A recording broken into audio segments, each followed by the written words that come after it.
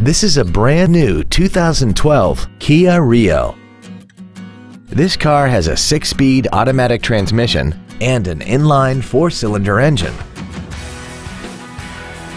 Features include a low tire pressure indicator, traction control and stability control systems, steering wheel mounted stereo controls, a passenger side vanity mirror, tinted glass, rear impact crumple zones, an anti-lock braking system, side impact airbags, air conditioning, and satellite radio. With an EPA estimated rating of 40 miles per gallon on the highway, it doesn't compromise fuel efficiency for size, comfort, or fun. Stop by today and test drive this vehicle for yourself. Fisher Auto is located at 6025 Arapahoe Drive in Boulder.